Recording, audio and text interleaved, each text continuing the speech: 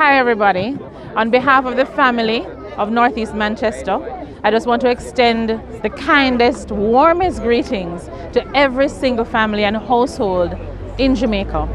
My name is Ethne Miller Simpson. I'm the PNP representative for Northeast Manchester.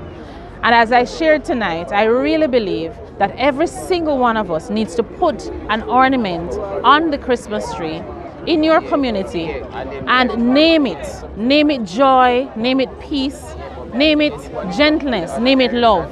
And every year, I invite you to make sure that your ornament is on that Christmas tree. Blessings and love. Please subscribe to Cedric Read. Like, share, and comment. Yeah, right.